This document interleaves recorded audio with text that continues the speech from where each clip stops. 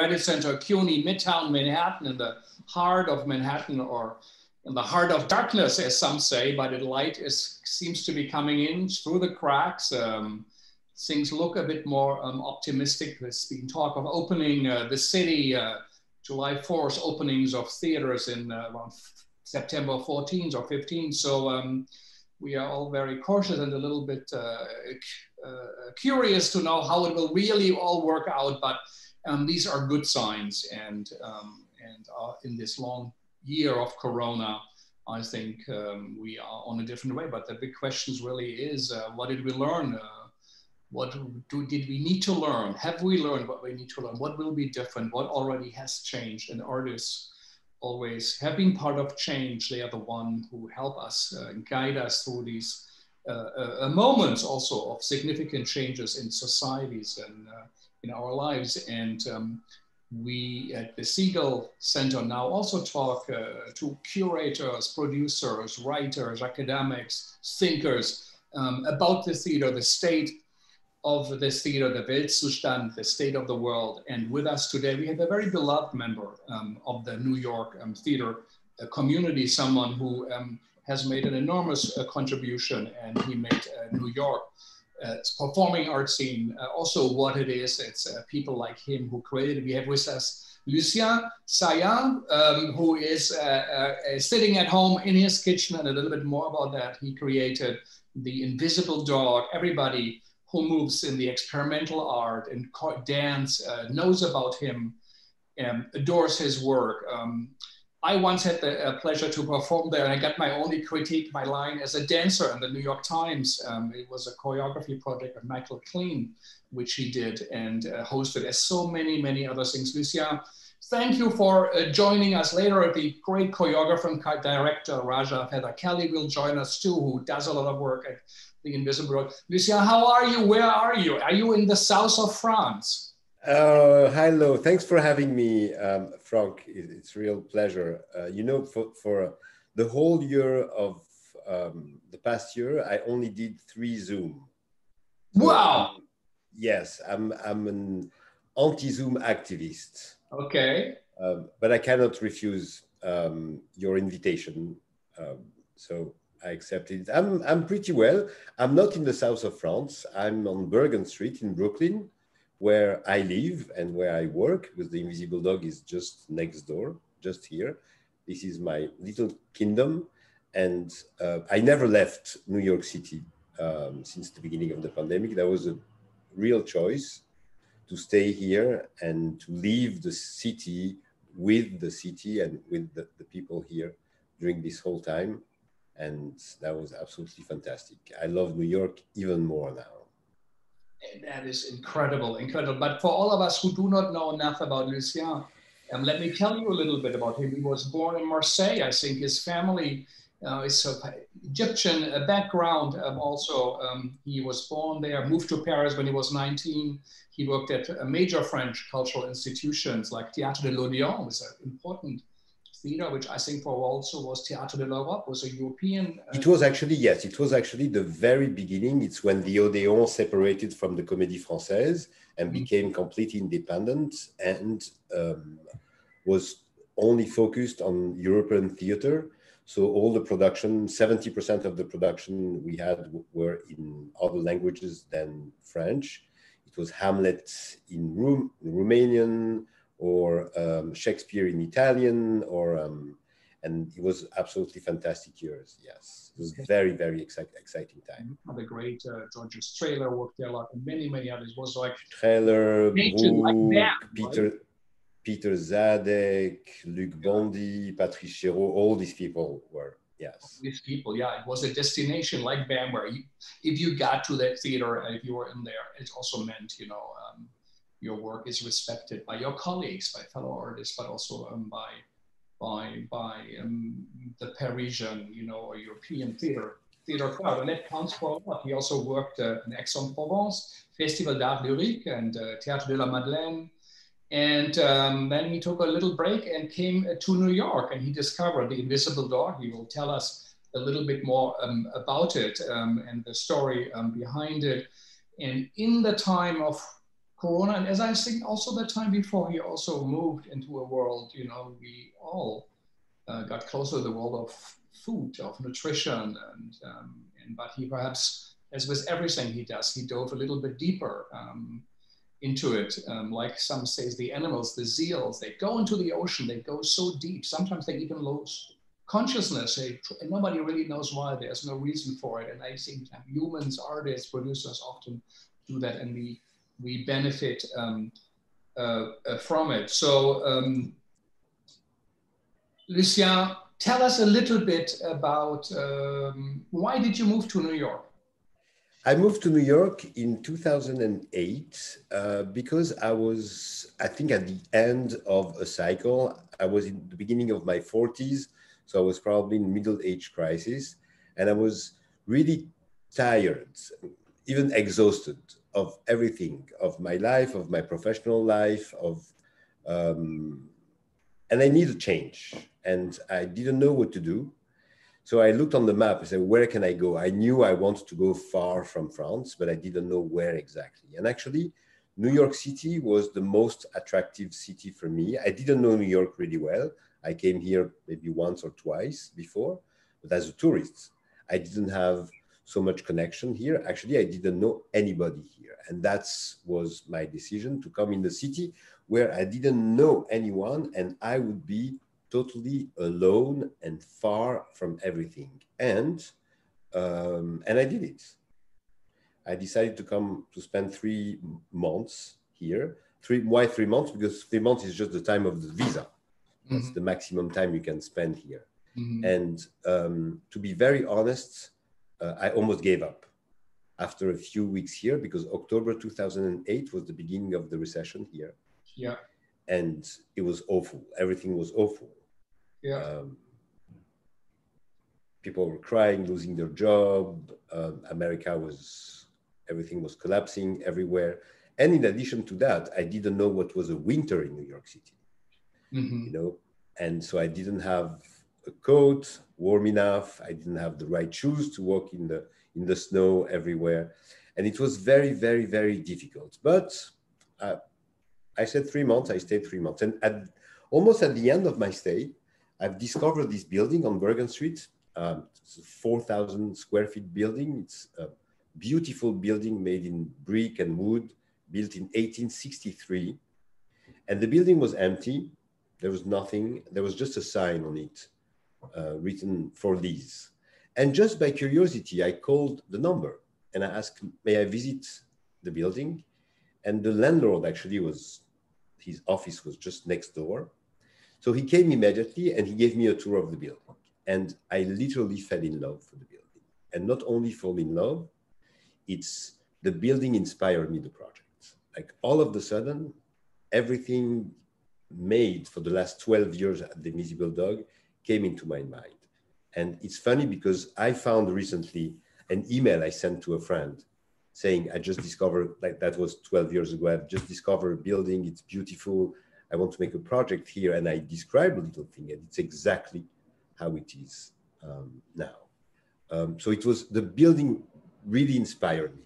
That's two minutes before, I would have never thought about something like that. Mm-hmm. And so I, I talked about the landlord. I said, I want to do this project here. What do you think? And he said, Can you pay the rent? Of course. And um, I said, I don't know. I don't have any money. And he answered, I don't have money too. So we have to find a way to work together. And he said, Yes.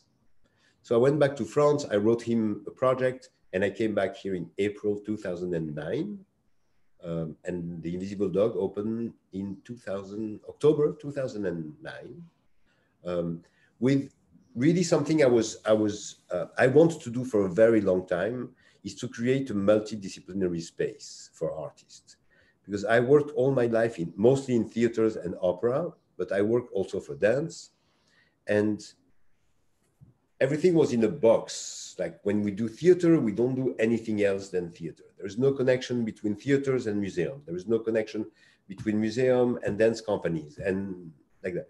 And I really wanted a multidisciplinary space where people are not coming to see something specific. They're just coming to a venue.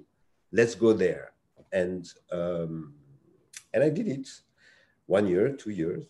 Now it's 12, and in September we will open the 13th season of The Invisible Dog. That's the whole story.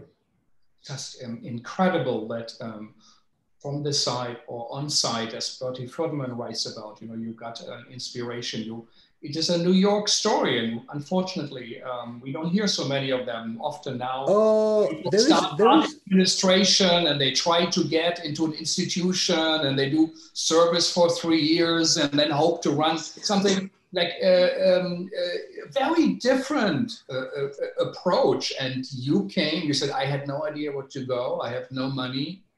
I thought New York is an interesting town and you saw an empty space. Uh, you didn't even know how to pay for it, which I don't know. We have to tell us a little bit how we did it, but that is an incredible but story. My, my force, you know, sometimes it's like kids. Uh, kids, they don't know that if they put their hands on the oven, they get burned. They don't know that really until they really put the hand on, on the oven. And it was the same for me. I didn't have any fear because I didn't know anything about New York. I didn't know anything how the art was funded. I didn't know anything. Yes, the only thing I knew is there was no public money here. That's the only thing I knew little bit. Because in France, we have a lot of public money. Actually, we only have, we mostly have uh, public money. I, I knew that little bit. So, but I didn't have any rules. I didn't have, I remember at the beginning, I was talking with people. I said, Oh, I would like to do that. And they were telling me, Oh, you can't. Yeah. And I said, Why? Why I can't? Oh, you can't do something like that. And I was doing, I was trying everything because I needed to survive. I needed to create my project. So I didn't wait for any foundation or any institution to to support me or to give me money. I just create my own business. And I said, I have to generate money in a certain way. And with this money, I will pay my rent, I will pay the gas, the electricity, the internet. And then with the profits with left, I would be able to produce some, some work. And I did it like that. The first year I did $800 profit at the end of the year. It was not very much, but it was, I was still very happy to not create a deficit. It's incredible. Yeah. So you rent out part of it, or how was your how how do you make so it? So it, it's a, it's so it's a very simple business model. The business mo- model is based on real estate. So I have four thousand square feet at the Invisible Dog. Um, Two thirds of the Invisible Dog is rented um, as artist studios. So I have artists in the building. They rent a space. Um, they come work every day. I call them the heart of the Invisible Dog because we don't see them but that's why the invisible dog is, is, is alive. It's probably because of them. And then the other third is the public space of the invisible dog, the main gallery on the on the ground floor. So it's a 4,000 square feet gallery, and here I generate incomes not at, with the box office because everything is free at the Invisible Dog. I don't charge any tickets. Um, it's based on donation only, but I rent the space for weddings, bar mitzvahs, in between exhibition, in between performances. And then a few years after, I start to have co-production with other institutions like PS 122 and Vallejo Gantner when he was um, running um, Coil Festival. Um, Carla Peterson from New York Live, Live Art also was one of the first to come and co-produce a show with me at the Invisible Dog. And slowly like that. Um, it's at the very beginning here, I opened a, bank account in New York City and I asked for a credit card. And a few days after, they emailed me saying my my my application was declined.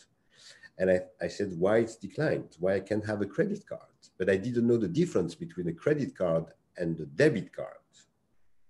And I don't know what is it to create a debt it's just I'm not made like that. I don't have this American system where I'm using credit card to pay that and that and that. So I'm only using the money I have. So it was very simple. If I don't have money, I can't do anything.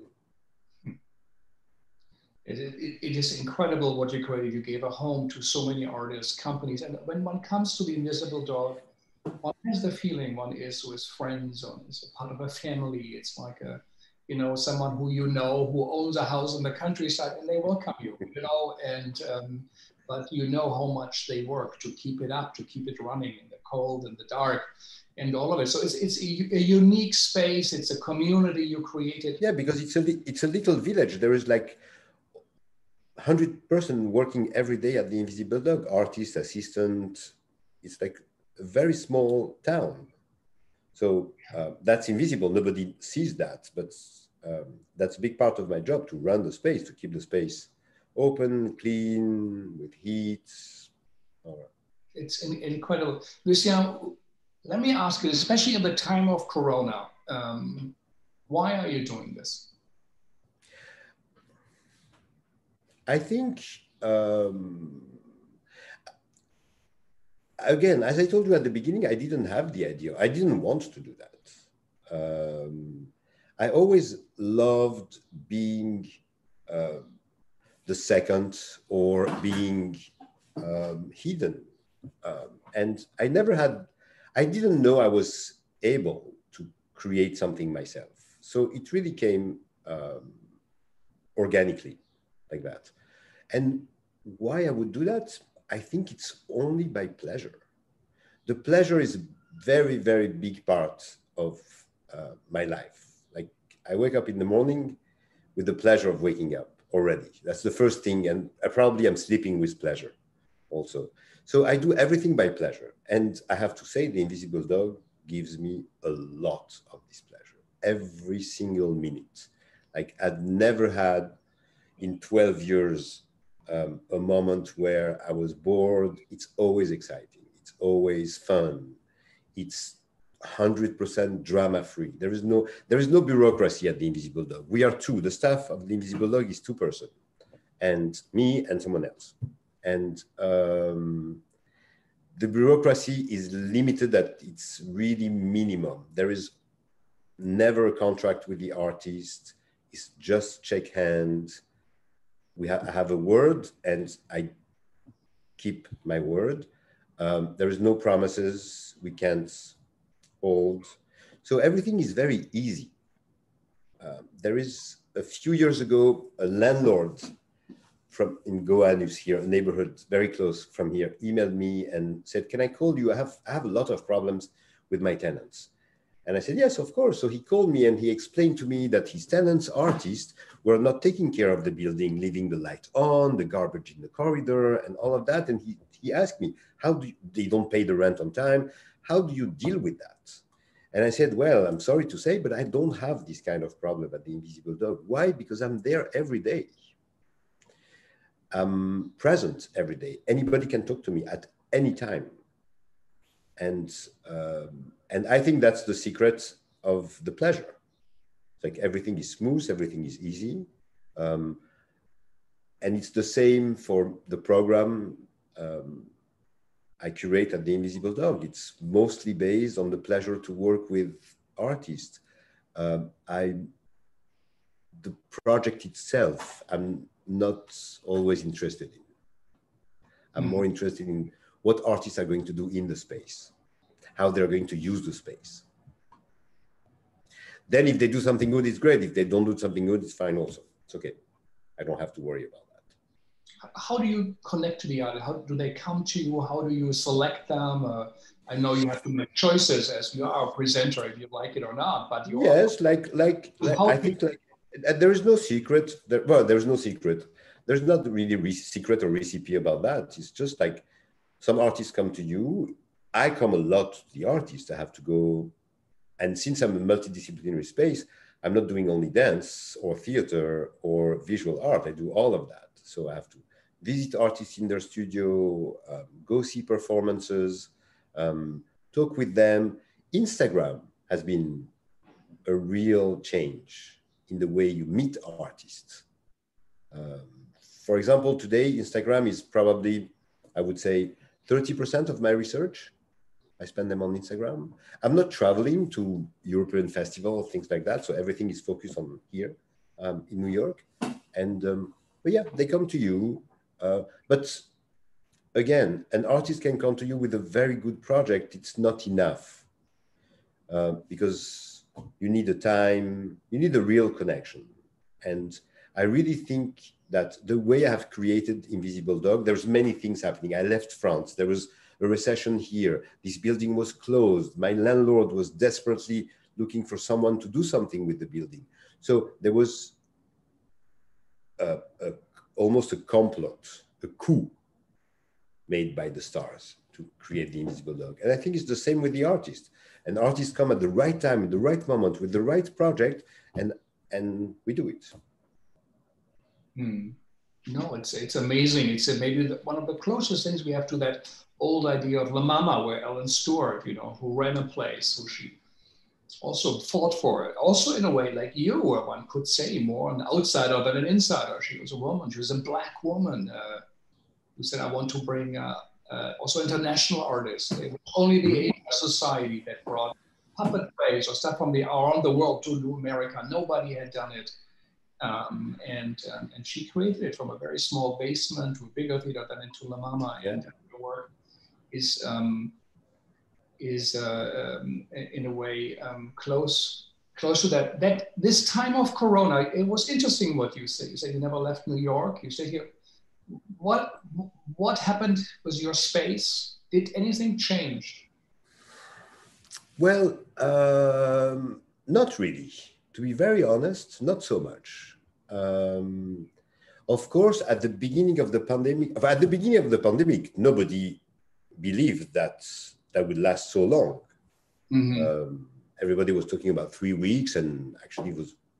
True. I was very happy. I said, "Oh, fine, three weeks off. It's great," um, and so nothing bad. But then, um, when all of a sudden we realized that how serious was the situation here, um, I, I had a moment of stress. I'm not. I'm not stressed at all in general. I'm very relaxed. Um, as my friend knows, I always say, I don't care, I don't care, I don't care, everything's fine, don't worry. All of that is only music or theater or dance or art, so it's not a big deal. You can find solution for everything. Um, I had a little moment of stress, yes, of course, but uh, the stress was probably generated by also my surrounding, what's going on in the city, like people dying, people sick, the sound of the ambulance all day long, night and day. So it was it was it was very difficult. But very quickly, I realized that uh, the Invisible Dog was extremely extremely stable because none of the artists who have their studio at the Invisible Dog left. They all stayed here. So already, as I said, the heart of the Invisible Dog was beating. The heart of the Invisible Dog never stopped so when your heart's still working, everything's fine. You can be a little bit off or in a coma or something like that, but the heart is still beating. So they came to and the studios. They worked. They continued working. No, no, no. The first two months, nobody came to the studio. It was like, or maybe two or three. There's there are 27 artists in the building, uh, so maybe only two or three were coming. Most of them were staying home. Um, but they didn't break their lease, they paid their rent and all of that. So everything was fine. Of course, we had to cancel events, we have to cancel productions, we have many things like that. And there was a big loss of, of income, that's absolutely certain, but not enough to put Invisible Dog in danger. And actually, after um, maybe four months, after the beginning of the of the of the pandemic, after March something, 17, I realized that we were safe. And if I was managing well the situation, everything would be fine. Um, for example, I've been very shocked um, in April when a lot of art institutions started to ask for money. Like the first thing they did is give us money. We need money. We need money to survive. And really, I was very, very shocked by that. I said, there are so many other things to do than asking for money right now. It's not the right thing. There's people dying. There is people losing their jobs. There is, and when I said people, um, of course, I'm thinking about the artists, and especially the artists in the performing, the artists of the visual art world. They were fine. More or less, because they were working for them. It was a moment to focus on their studio and paint and draw and, and sculpting. And so that was, but visual art was, um, sorry, performing art was extremely violent. Imagine all of a sudden you have no more work, nothing to do. And you still have these institutions who are asking for money.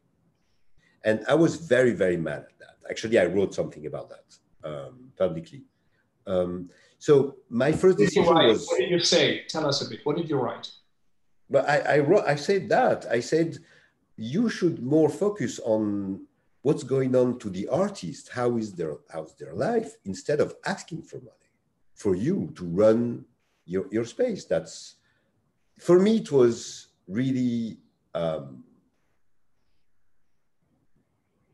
ah, I don't want to use like too much like hard word, but it was really insane to do something like that. It was not that was not nice to do that. And and many of them from the biggest one, the Met, uh, the MoMA, uh, Brooklyn Museum didn't do it. For example, um, Anne Pasternak wrote an absolutely amazing newsletter in April talking about how we have to take care of each other, how what's the mission of the Brooklyn Museum to take care of people from Brooklyn. That was absolutely beautiful. And she didn't nowhere in the email, there was not even a link saying give money. That was absolutely beautiful. Um, that was, my, she was a real inspiration um, during this period. But anyway, um, there was one thing to do, yes, was to focus on mostly that, the artists, because it's, we work because of them. We are able to do all of that because of them. If we don't have artists anymore, our job doesn't make any sense. We, um, I'm sorry to say that, um, but uh, without artists, there is no producer, there is no curator, there's nothing like that. So we need them absolutely. And they needed us this time not to produce their work, they needed us to pay their bill, to pay their rent, to buy food. I was sending almost every day $20 here because artists were asking me, can you give me 20? They, were, they needed that, $20. So with an artist of the Invisible Dog, her name is Anne Mourier, we created a fund uh, called the Taking Care Fund.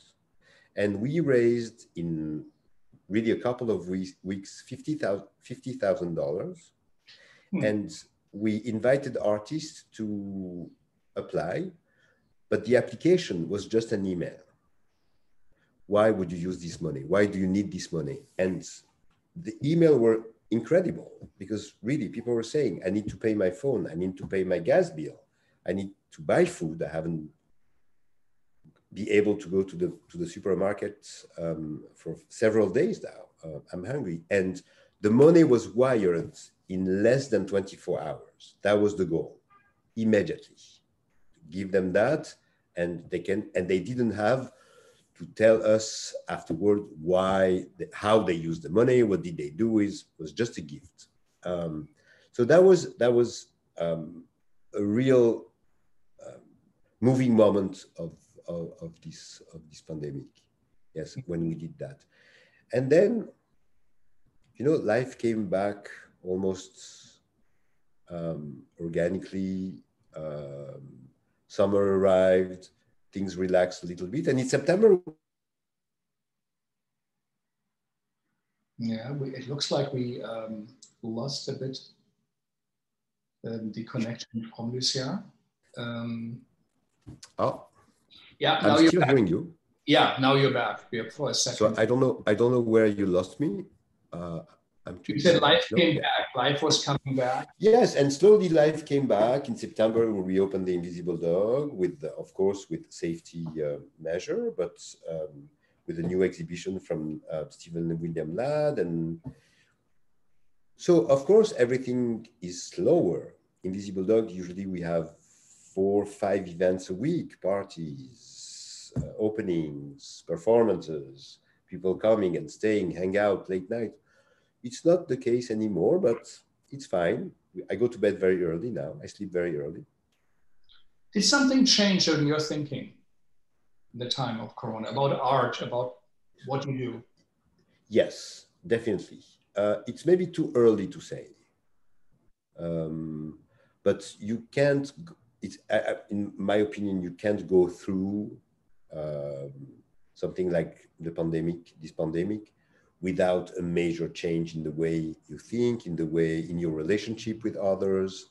Um, there is, i I'm reading this book and I want to just, uh, she's a Japanese author and she wrote this book called 961 Hours in Beirut, in Lebanon. She was invited for a residency here. And when she, right after she left, the explosion happened. Mm-hmm. So she had to rewrite the book because how can you um, ignore such a moment? And it's it's fantastic because she explained how our future is defined with before and after when something happened when something when an event happened all of the sudden the before and the after get visible when they were not before without the pandemic nothing would have happened um, but the pandemic immediately created a before and an after and I can't imagine it will be exactly the same. But again, I said it's really too early to say uh, what has changed. Um, the way we walk, the way we take much more time to do everything. We enjoy um, the company of less people, maybe, but more deeper. Um, there is definitely a kind of superficiality that has disappeared here in New York City. All the social thing of New York City, as, as, as, as it was, has disappeared, it seems. Um, we don't feel obligated to go there, get, do that, do that, do that, not anymore. And that's, I think, it's a good thing. And we have more time. We can read, we can talk, we can just look at the ceiling or cook. Mm-hmm. Yeah, we'll come, to that a bit later. Um, why do you think art? I mean, you uh, for your work in France at L'Odéon and here, art seems to be at the center of it. Why do you? Why do we need? Why do you? Why, why do we need art? Where are the? Where's the need? Especially in this time of pandemic, where we were officially non-essential in a way. But uh, what what what are your thoughts about it? Well, uh, not everybody needs art. It's like, and and actually, I would say, uh, as we define art, two of us here, but definitely art is everywhere. The flower you look at is uh, when you walk in the in the forest or, are a piece of art. The, the sky is a piece of art. Everything is a piece of art, and everybody has eyes. So since we have eyes, we can see art everywhere. Um, so I don't. I, I won't say we don't need art. Uh, when you go to the church, there's art everywhere. So you you're confronted to art everywhere. So, but we need we need art. You, me, and probably people who are listening to us. It's just because um, it's it's it's our food. Without that, we don't know do anything else. So it's it's not even essential. It's a question of of survive if we if we don't have this contact with art and and artists to give us their vision to give us, to share their, you know, they are the only one who see the future. We don't see the future. We see the future because of them. Without them, we won't see the future. But, um, and that's why art is very important.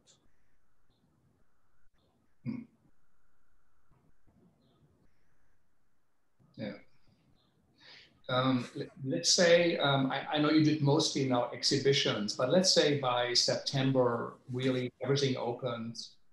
Um, are you going to go back how it was at the Invisible Dog? No, definitely. Or you think it will be radically different from what you did? No, it will be radically different. What's going yes. to be? For example, so for example, um, usually an exhibition at the Invisible Dog, it's five weeks.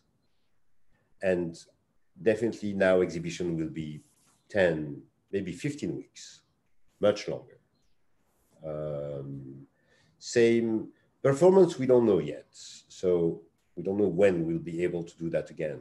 Um, it's very confusing, this message, New York reopen. It's very, very confusing because I don't know how the city and the state can just decide like that. Yeah. Everything reopen and uh, it's over. It's not. So um, I'm very careful with that. Uh, but um, yes, and again, but I can't really tell you how things will change. It's. But conceptually, will you say I have more theater, more performance, more exhibitions, more community project, or more? Uh, no, no, because no, because no, because because the invisible dog is all of that already. All of that. And and yes it's all of that already. And and there is no there is no it's it, there is no frame at the invisible dog the way I, I, I make my program. The program comes whatever projects um, are ready to be done. And um, it's very very very I, it's very important to me. And since the beginning to keep the invisible dog extremely flexible. You know this this very famous fable of le chêne et le roseau. So the, the chêne, I don't know what's the chêne is this big tree. Mm-hmm. Um, uh, what's the chêne in, in, English? The chêne, the oak. Oak tree. Oak. Yeah, the big one, solid.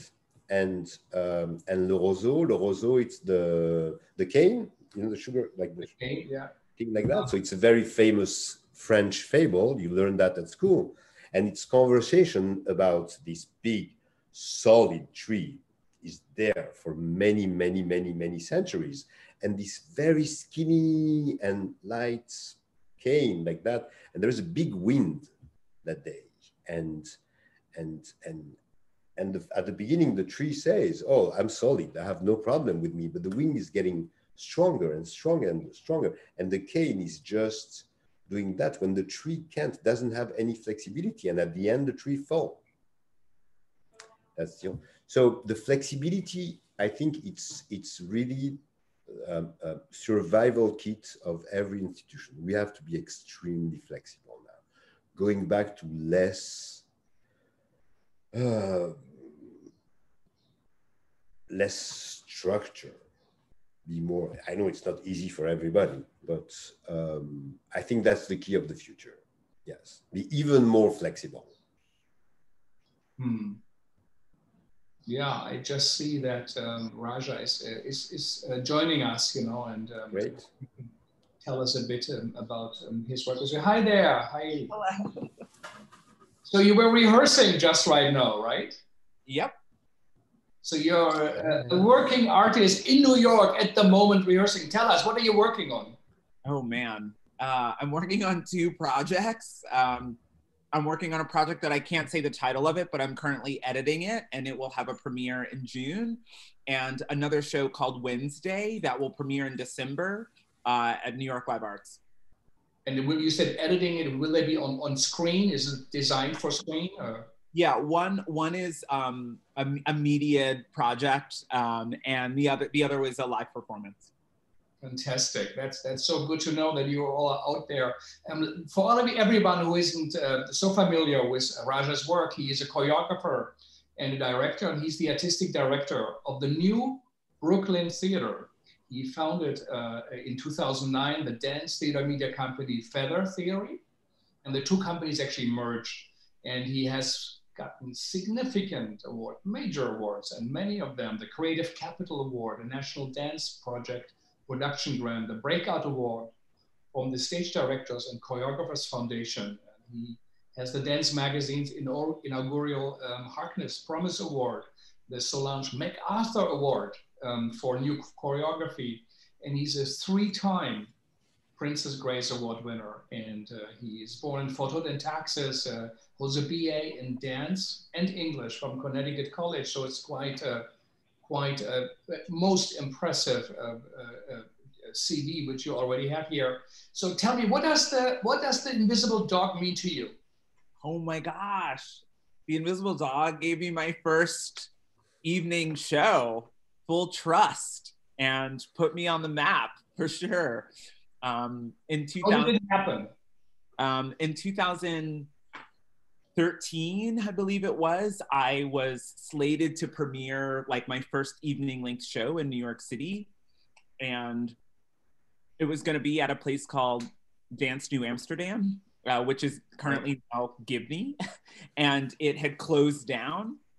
And so our show was canceled and I emailed Lucien and I said, Hi, my name is Raja. I'm a choreographer and I would love to do my show at your space. And I think everyone emails like that, like very scared.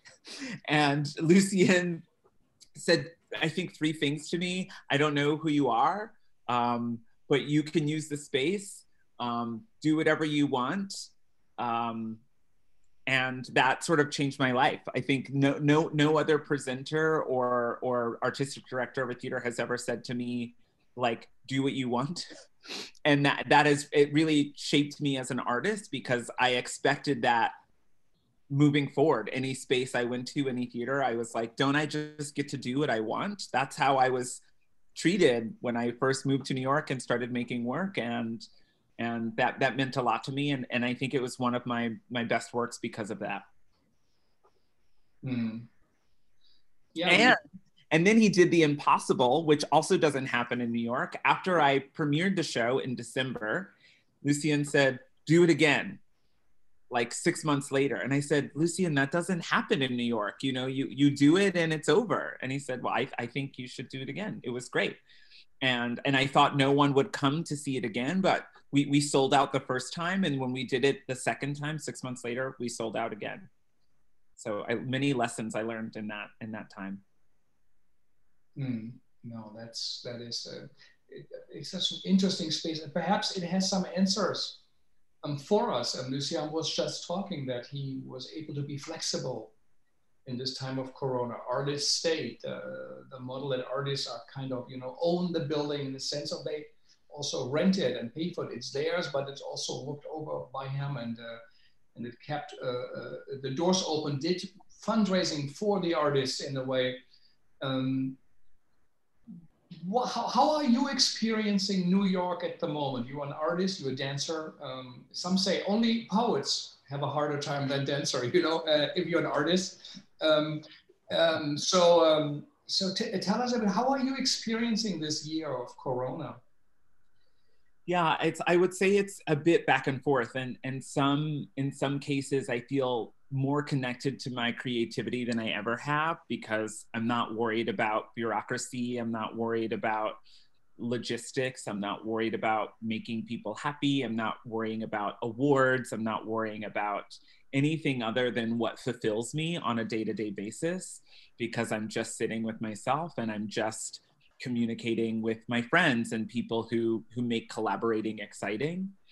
And and that that has been a, a, fantastic reminder during this time and something i feel fortunate because i have my health to continue to do. And yet on the other side i feel very confused around like what our what is our field? What do we do as theater makers? And who are we supporting as theater makers? And and there's been a bit of a veil lifted where I'm looking at it and I'm seeing lots of issues that have always been there and both a desire to remain a creative and to remain in the field and at the same time a desire to to for it to just be over and to be done Hmm.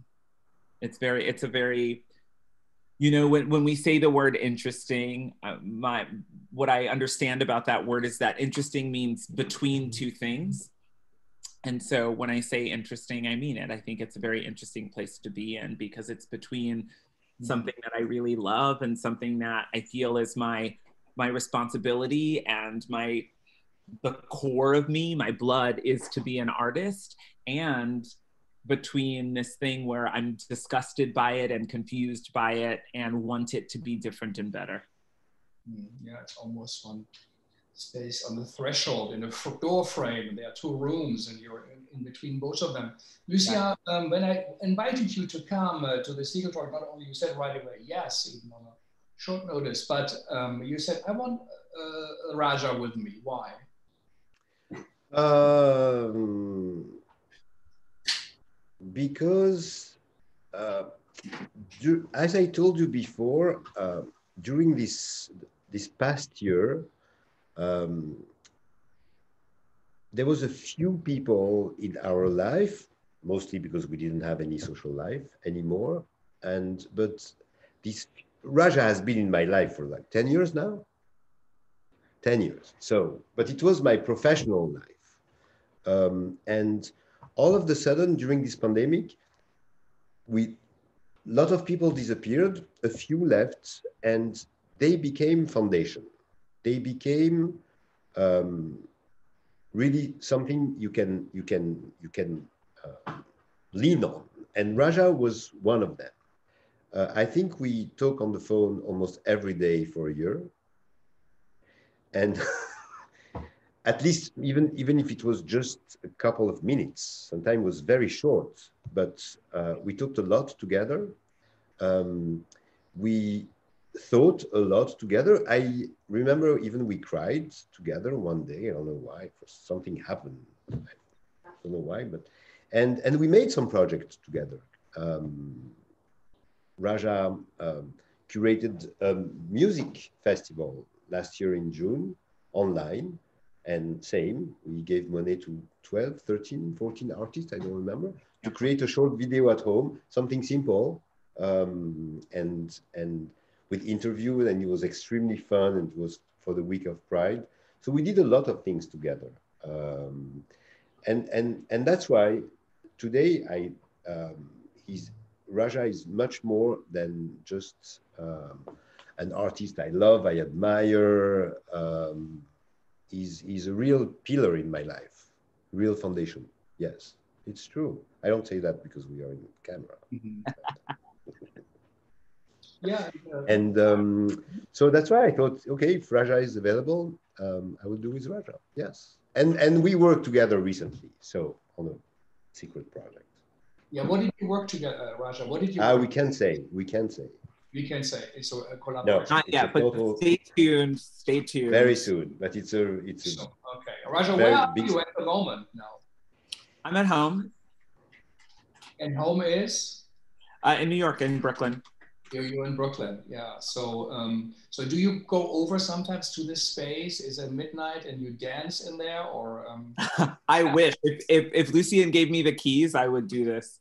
You never I, ask for the keys. Yeah, well now I I just got the idea that maybe I, you know, I really I actually stay up very late, um, and I call it my witching hours between like, you know, two and four a.m. I'm most most creative then and if I had keys to a studio, I would totally. I'd give, I'd give you the key. I, you never ask, but if you I ask, I will give you. But you know, like what, what's what's what's Raja said um, earlier when when he said I, I, told him do whatever you want. It's, it's actually that, that's not a favor I made to him because that's first that's what I'm saying to all the artists I'm working with. Uh, I don't want to interfere in their creative process. I think they have that in mind. And from the moment you talk to an artist to the moment of a project is done, of course everything is going to change. And it's it's it's uh, it's good if everything change. If nothing changed, that's not a good sign.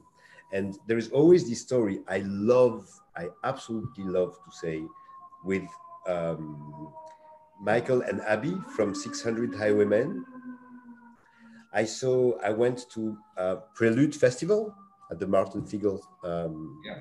mm. place, and uh, there was like it was like like a, a, show every ten minutes, and arrived the end of the day. I was really exhausted. I haven't seen anything really I was excited about, and there was uh, Michael and Abby. I knew them a little bit because they had the residency at the Invisible Dog, but I didn't know them really well. I was almost about to leave and I said, okay, it's the last one, I go see it. I saw it 15 minutes and I love it. So at the end of the show, I go see them and I said, would you like to develop this project at the Invisible Dog? Yes. Two days after, date were set up, everything was fine. They arrive four months after for the first rehearsal. And you know, my office at the Invisible Dog is in the gallery. I don't have an office upstairs. I'm really in the gallery, so I can see everything happening in the gallery. And I, the rehearsal started, and strangely, it was very different when from what I saw before. And uh, but I didn't say anything. I thought it was my memory. I said maybe I forgot. That was four months ago, and um, the show happened. And at the end of the show, the last day was the record. At the last day of the show, we went for lunch together and I told them, I said, by the way, that was not the show I saw in October, right? And they said, no, absolutely not. It was totally different. But you didn't tell me they said. And then they look at me and they said, but you didn't ask, Lucien. And I love this story because that's really the invisible dog. That's really, you come to the invisible, as soon as you're invited at the invisible dog, you can do whatever you want. And I have to say, this, this recipe has been very successful. Hmm. Raja, thinking about this, which is very profound, you know, it sounds very simple, but the relationship between space. Oh, it's not simple. No, it's, it's no, it, it's not simple. It's but not, yeah. it's not simple. But that's so. If we want to talk about something more technique, I have to say, if you want to make your life, if I wanted to make my life as a director, as call me whatever you want, easy and simple, I would like to make the life of the artists who are working with me difficult.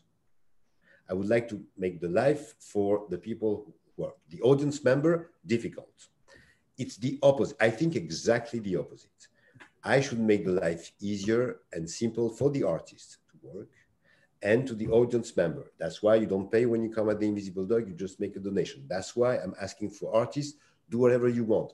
But you're right, when you say that, behind the background of that, the administration of that is extremely complicated. It takes much more time. And it's like almost 24 hours all the time because you have to adjust. There is no rules. The rules is just be respectful of the space, but inside that, it's very flexible. So that doesn't make my life easier, but at least it makes the life of the artist much easier. And that's the most important. Yeah. Yeah. So Raja, for you, um, I mean, you have such deep roots also in the New York community, artist community. Um, what changes would you like to see? Um, you know, of course, not every space can be an invisible dog, but what do you feel is wrong, and what can be corrected? What should what should we pay attention to now? Producers, uh, presenters, everybody, scholars.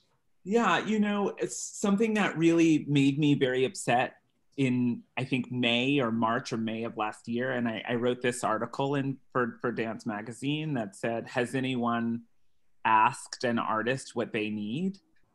And I really meant it, and it's something that is often not asked and and i feel now that i have to sort of beg or force my way into making the work that I want to make. And I have to sort of push away presenters and producers who feel that they want to have a heavy hand on my work. And so I think I, you know, I think it's also a criticism of mine that so much performance and and and theater, and when I say theater, and I mean theater, dance, music, etc., but I call it all theater. Um, it starts to fall flat, and it starts to all feel the same because the artists are giving the exact same resources and and they're treated exactly the same there's formulas that are created that seem and that that want to support artists and they don't because we're not asking artists. Artists aren't being asked what do you want? What do you need? How can i support you? And to lucien's point that would make things much more difficult for presenters and producers and theaters etc and so, of course, it's not asked. It's let's come up with a rubric, let's come up with a system, and then each artist will go through that system and then make something. Because and it's decided what what we need as opposed to asked, and that small change would make the largest difference. Hmm. Yeah. Yeah, it's true. What do you need? And I think Kemi, who was here from the Laundromat project, he once said also what I do now, which I didn't do before, if I remember right. He also say, how are you? You know, so in that busy way of New York and that life, you know, maybe, we didn't ask that enough. How, how are you really? And you listen at the time, but also say, what do you need as an artist? You know, so, so these are these are all, again it sounds simple but these are significant um, um, um, um changes if they would would um, uh, take place um, i think i saw the, the, the lucien created an evening to support also your dance company. I was there. I saw this beautiful flow also of bodies in that space which you adapted. Um, um, do you do you think uh, out of Corona will come that also dancers, choreographers say we, we move outside the um, you know the uh, live art space, the dance places, uh, or is, will there be still not sure will there be say we, we can't wait to get back into the perfect dance spaces? What is in your community? What do you hear, and you yourself? What are you thinking?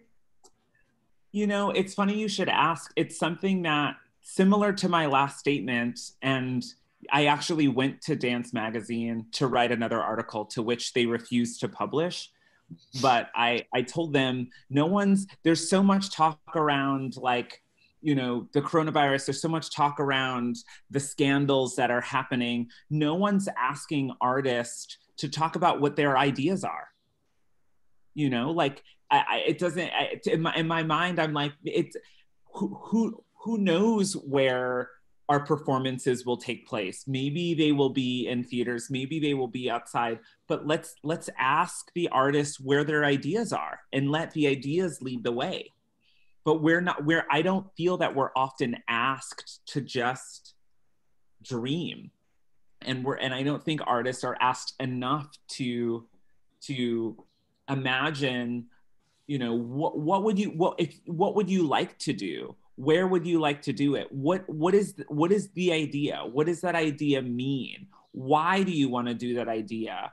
Who do you want to participate in that idea what i think artists are led to do is feel like oh well if i want to do a show and i want it to be at this space then i have to make it there or i won't get any support so it starts to shape what we believe is possible so there's the one way I could answer your question is like whatever people make available to artists, artists will take and make.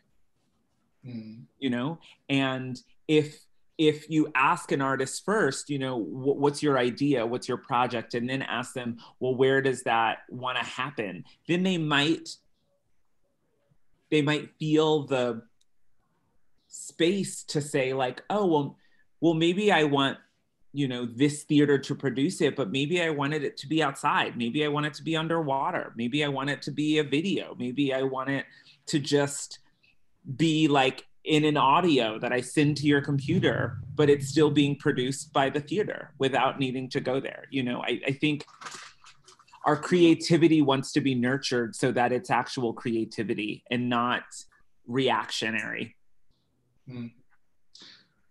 so let's talk about you if you that time of Corona, if what would you like to do? What would you say? I I I would. I, that's.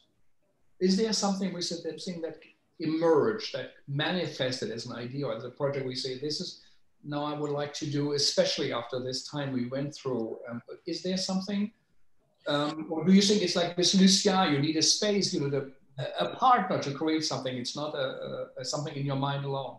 Well, yes and no. You know, funny enough, let's you know funnily enough if i think back to 2000 you know 12 or something this theater that i was going to shut down and i called lucien because i wanted the space. And similar in coronavirus you know the, the, the or the pandemic rather things are shut down.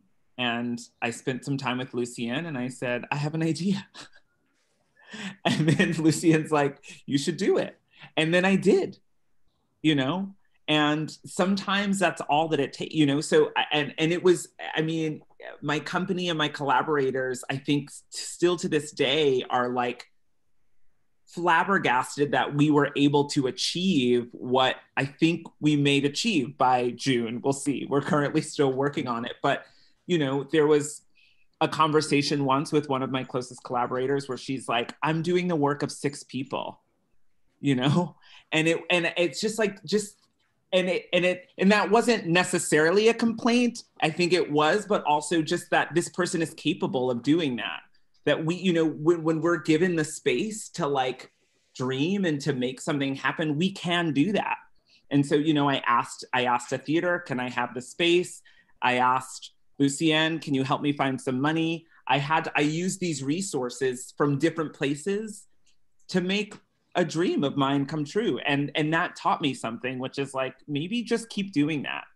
Maybe don't try to look for as i mentioned to you before the formula but create create the create the avenue for yourself. And and that's going to look different. And hopefully when that's achieved people will say like oh how did you achieve that thing? And then i can say well i i asked for this from this person and i asked for this from that person and i asked for this and and and and and people trusted me to do that. And maybe that's a new model or maybe that's just a new approach. I don't want to say model actually. That's a new approach of thinking about like oh it's it's all out there but maybe it doesn't look like going to one place and and and, and making one thing and then that place owns it and then it's under their rules so you know there, there's many things i want to do I, I write i make media i make devised theater um, uh, and and I want to be able to have the freedom to do that when it when it feels exciting or important for me to contribute to culture, and not have to ask permission to do that, um, and to be given space, room, and the resources to really see it through. And and I think also a little bit of liberty because the the other problem here, and and I hope this pandemic will change that, is the way arts or performing art is funded here. Um, a lot of guideline and finally like very very little freedom when you apply for a grant and all of that. It's there's a lot of um, restrictions um, on that. So maybe the, the, the, funding should change also as you say not not another model but more flexible more simple more simple um, i remember um, during the pandemic, uh, Raja said something to me. He said th there was there was a, a grant, um, small grant offered by an organization, and the application to get this money, and the money was two hundred dollar at the end. The application uh, to get this money was absolutely insane. They were asking you for tons of people um, of paperwork and all of that. And I remember Raja told me, "We are humiliated enough." we don't need to be humiliated more just to get $200 or $300. Because why? Because the application is complicated. The application asks for so much time and resource and you don't want to do all of that because again, they just want to create work. So if the funding in America change also, if it switch to something more flexible, different, more listening to what the artist needs, that would be fantastic. Mm, yeah, no, this makes a very big uh, difference. And they tell something about the society way it treats the artists. We had a, a Dalia Basiouny from Egypt, actually, also your background, and she said we had to fill out 12 pages and then we had to call one phone number and there was only one number in all of Egypt you could call, and you had to wait five or six hours, and at the end you would get fifty dollars. You know. You see. And, um, and, meanwhile, you know, if it works out, we will have Theater der Welt Festival, the theater of World Theater Festival. People were doing it in Germany at the moment, you know, and that region was able to give 200 million dollars to artists um, as a as a resource. They are thinking what to do with it, you know, but um, everything is closed there Germany is still closed down. Perhaps they cannot even show the festival. Uh, the program has been printed uh, as for the Vienna, Vienna Festival, but without show times, without when it's going to happen. There's a great confusion happening, but there is some support um, out there. Lucien, um, who inspired you? I mean, uh, I know you, you were the Odeon, but to say, I'm, kind of want to run this, but this is what I like. But still, there are you know always institutions or people or maybe other artists. What what made you do this? Um, whether it musicians, uh, novelists, uh, playwrights, uh, presenter, who who who inspired you? Who do you look up to? Well, um, when I, when I was young, I wanted to be an actor, and so I started acting acting school. And but very quickly I realized that I didn't want to do that. I was not very interested in being an, an artist or an actor and all of that. And at that moment, I've discovered that behind the stage, there is a whole world of tech administrators, producers, electricians, I don't know, ushers, and all of that. and it has been an epiphany for me. I didn't know that when I was young. I had no idea. I was watching uh, theater on TV and it was just a screen and you didn't know what's going on behind. So when I've discovered the, this whole world, I was absolutely fascinated. And I have to say, um, I've been lucky enough to work for 10 years with a guy named Stéphane Lissner. Um, he was the director of the Théâtre de la Madeleine, director of the Festival d'Aix-en-Provence, the director of La Scala in Milan, the, recently the Opera of Paris, and now he's in Naples. And I worked 10, 10 years with him. And um, he, he, he taught me everything. He taught me uh, this point of ask the artist what they want and just answer yes to everything. And your life will be much easier. Don't try to make your life, their life, their life difficult. Your life will be difficult, but not there. He taught me all of that.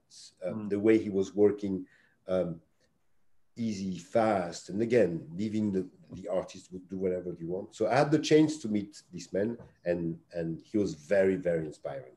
Yes, he he he's my mentor, definitely, absolutely. Mm. And um, but but um, I can do anything else. Maybe next year, in two years, in three years, if something happened, I don't know. I'll have to do something else. Maybe.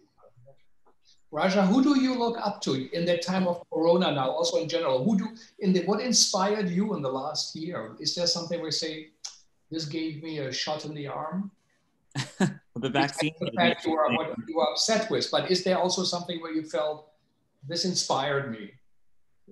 Um, I really think it's my friends and collaborators. You know, I feel very lucky that the people who are my closest friends are also people that I collaborate and and I, you know, I include Lucien in that now because I've now collaborated with him so closely on a project. But I feel that people, similar to what Lucien's, Lucien's saying, when when there are people around you who say yes instead of no, or let's figure it out instead of that's impossible, or yeah, uh, okay, I don't know what that means, but I trust you that just opens up so much.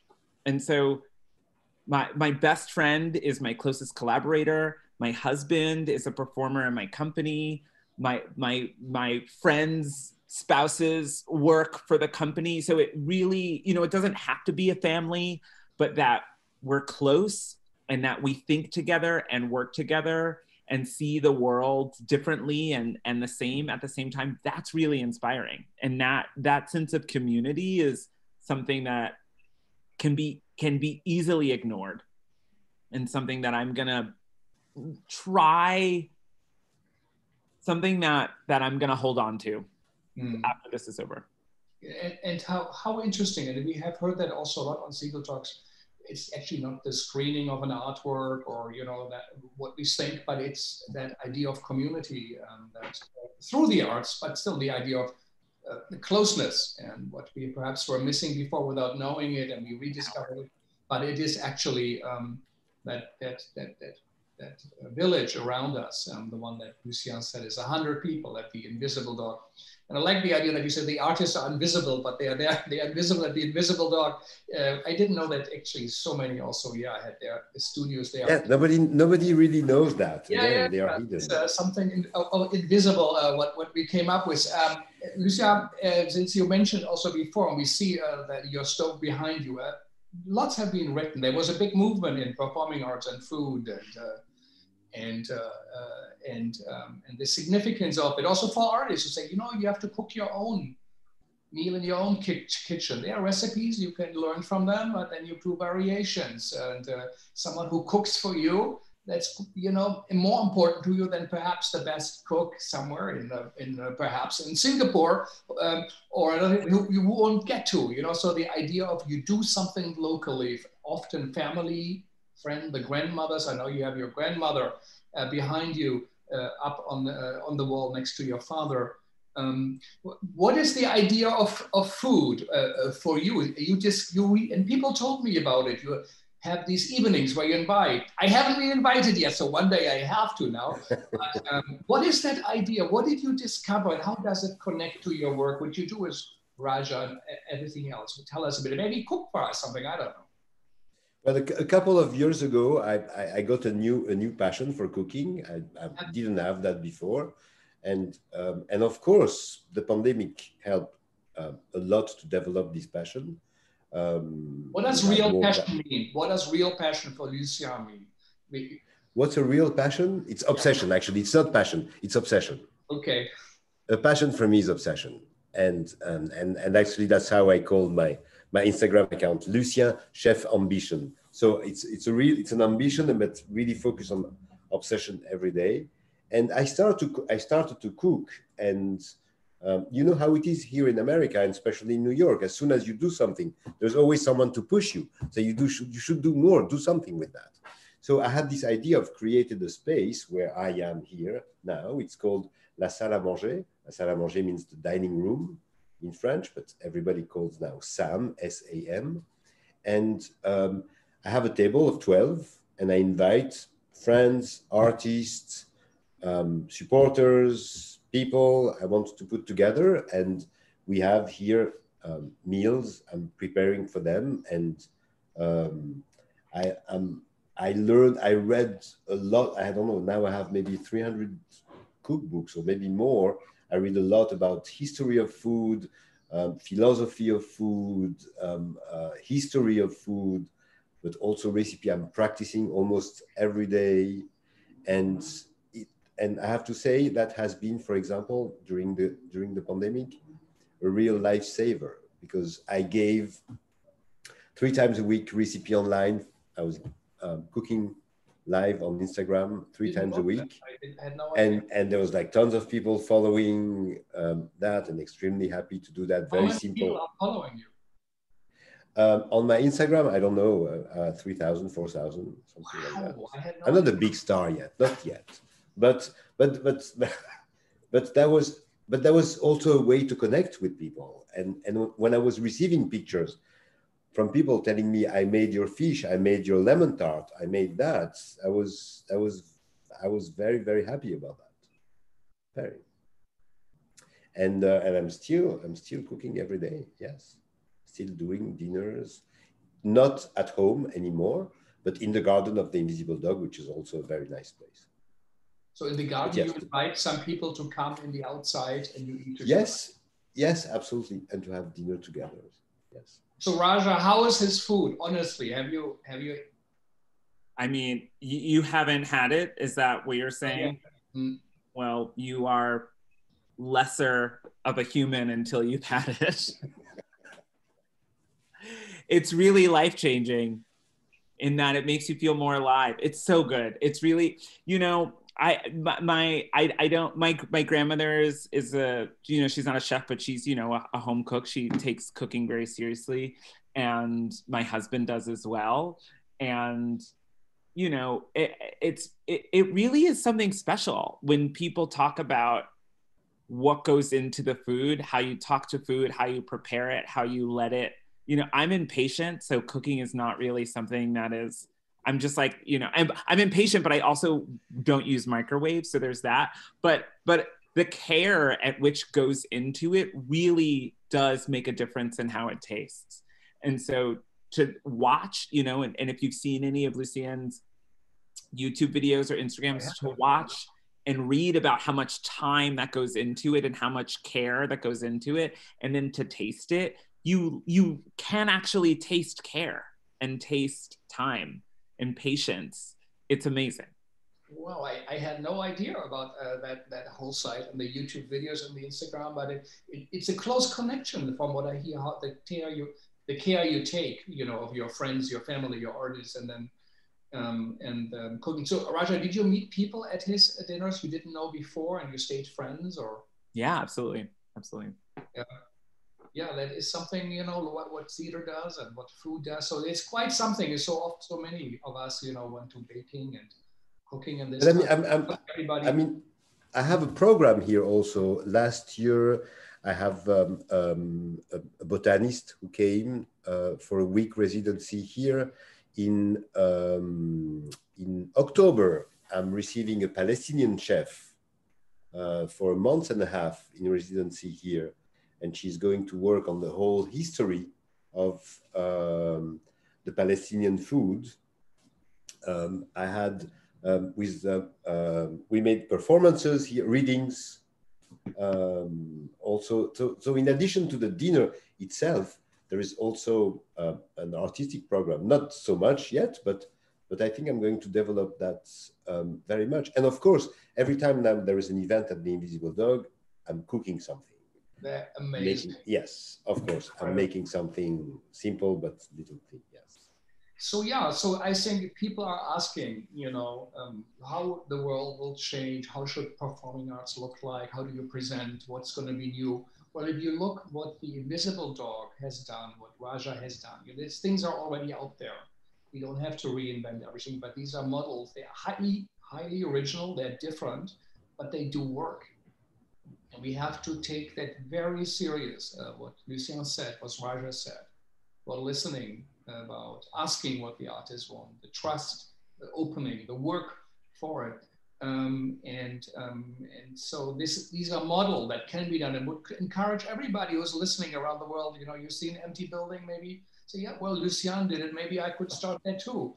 Um, and he didn't know how this all will work out, where it's going to lead to. It could have also been a failure, but I, but I didn't care about that. I didn't care about that. Yeah. So this is something instead, you know, and the what and the big trees. How little do we see from the Broadway theaters now? What? How much care do they give? to the artists they work for. They haven't paid them. I don't know if they even produce masks. What did they do for the neighborhoods they are in? You know, also other big institutions in town, cultural ones. So really, you have to say, what did we do, and uh, what uh, what should have been done? It's a big lesson to be learned. So, but Lucien, could you cook something or not? I was joking, but do you have something? Now? Huh? Now? Yeah or not? Yes, if you want, I can make something. I can provide something like that. It doesn't take too long. I mean, Raja said so much preparation goes into it. no, I can. I can make no, no, because it's lunchtime. So lunchtime usually it's simple things and very easy. Um, let me like look at my fridge. What do I have in the fridge? Uh, yes, I can do something very simple. Okay. Yes, give me a second. I, up, oh, look, change my costume. So, and if you want, I will send you the recipe after. You can post it on your. Uh... Okay, so this is an improvised session. Uh, so this is totally now I'm gonna get hungry. Yeah. Come for lunch, boo boo. I'll come over. I'm on my Up. way. So, um, what we can do again, it's very simple and it's very original because. Uh, it's very, very tasty with an ingredient we usually not very much. It's zucchini. Okay. So zucchini, very often it's not very tasty. And so to do that, you need like, let's say two zucchinis. You see here? Yes? Yeah. Two zucchinis. Uh, you need a knife up. You need a board like that. Then you need uh, a mandolin, if you have that, if you don't have a knife, is perfect. You need a little bit of olive oil, uh-huh. like this. You need curry. Okay. So this is a Japanese curry, but you can use your curry and and and uh, hop a little bit of heavy cream. Okay. Of course, I'm French, so there is cream everywhere. Cream and the and pillow. Yes. So let's start with that. So first thing, up you peel.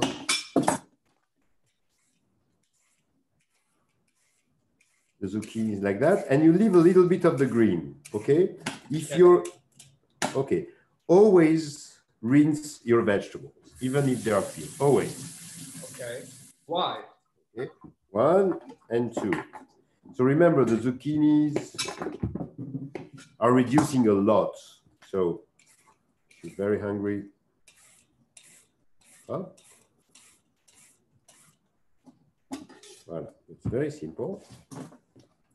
Rinse that. Let's try to make this recipe in 10 minutes max. Okay. Then you dry that. Okay? And then you slice them. So if you don't have a mandolin, you just make slices like that, not too thin to avoid the, to avoid the, so I can show you, see something like that. Uh-huh.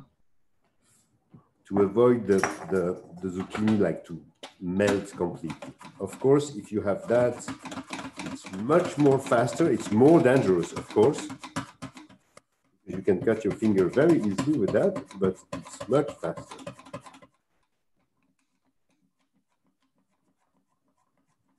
Wow. Voila. Mm. So this one. That's also a, a Japanese mandolin. They are the best one. Okay.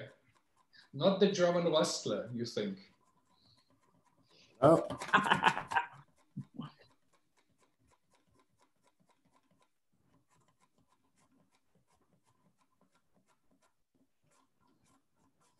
Voilà. Up. Up. Let's put this one here. So then you need, if you have a wok, Yeah. Perfect. If you don't have a wok, uh, any frying pan, you put like a serious amount of olive oil. You warm that.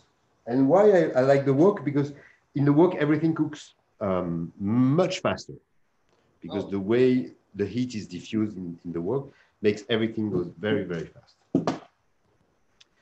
So we wait like a few seconds until,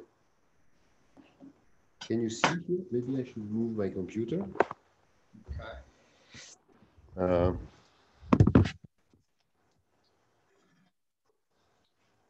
Can you see here? Yes. Uh-huh. Yeah, put that a little bit higher. Better? Not very stable. Okay, and now your spoon here.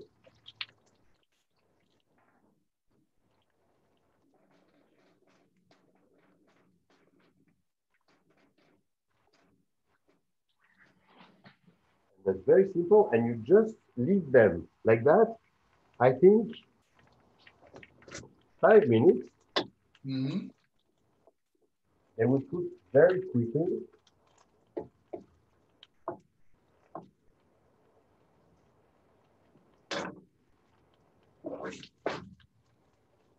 Whoop. Amazing. Yeah, it's also cheap meal, right? A zucchini is about a dollar or something, so it's quite quite uh, you know quite uh, healthy and uh, and a good thing, you know. Oh, yeah, it's very healthy. There's just vegetables, um, curry, and cream because cream is very healthy too. People now you Stop, pay four or stop, five yeah, dollars. thi- Yeah, you pay four or five dollars for a, a chocolate chip cookie, you know, and um, and so this is something that uh, will sustain you on the day.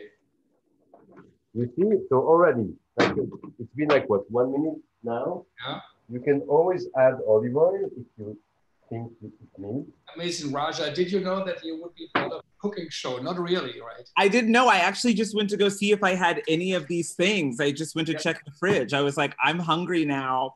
I have pistachios. That's all I've got. Yeah. What can I do with pistachios, Lucien? You can make a pesto Oh. Mm. with your pistachio. Do you have anything green in your fridge? No, but there's a I have a garden. I've got some Oh, was it- parsley. I've got some ramps.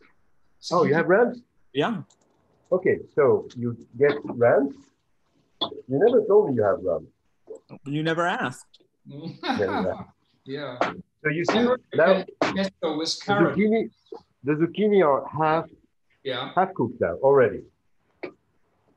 So you get get your ramps, okay, and Yeah. you have a you have a food processor, Raja.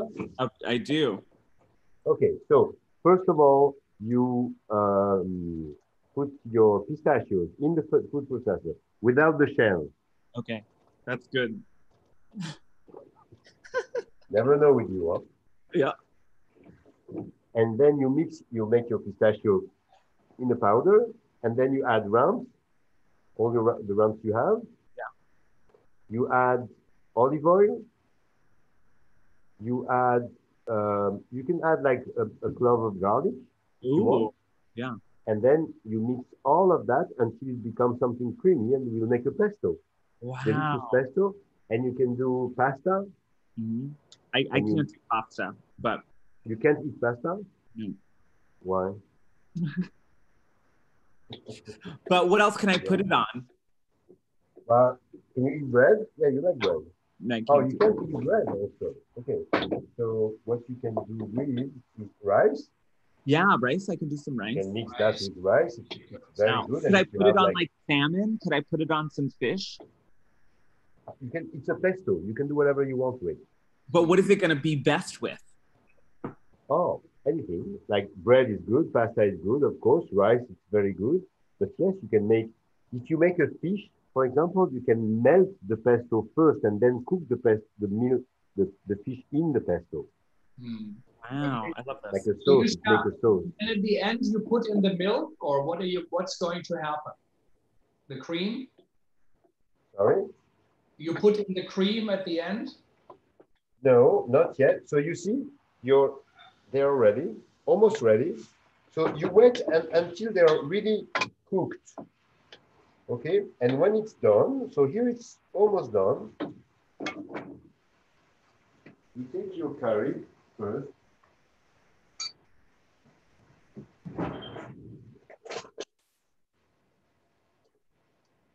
You sprinkle curry on it. So same, here I put like three teaspoon, but if you don't like too much or you want more, you remix. So you see, the little trick is, you see, the zucchini are making water. You see the water here Yeah. in the bottom? The zucchini will be really completely cooked when the water will be gone. They won't release any water anymore. And when it's like that, so you mix the curry, then there is curry everywhere.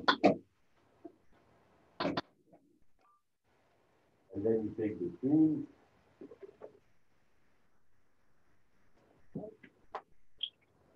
And up, you pour some cream, and here you mix again, and you lower the heat because the cream should never boil. But what you want is the water of the cream to evaporate to get thicker a little bit. And you just leave like that, same, a few minutes.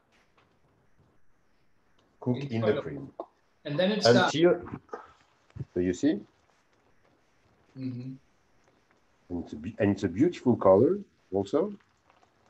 And you let the cream evaporate until they get thicker a little bit. And then you can serve that as it is, or it's a perfect, it's perfect with fish. Ooh. Also, it's very good with fish. Amazing.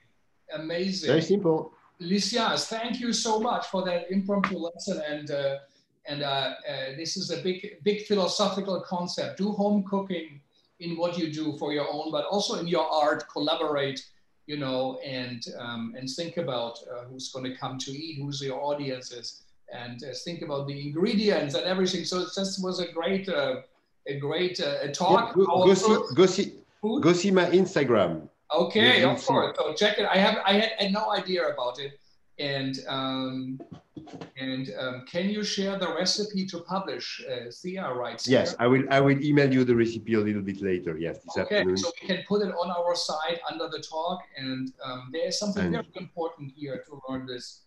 You know, this idea of thinking about you know food and making it, combining it fresh and local. So um, this is great. Raja, thank you for joining. And uh, I'm sorry we didn't ask you to cook, but you uh, but it's was improvised. we it's said better. It's better if he doesn't cook. Yes. Maybe it doesn't. Yeah.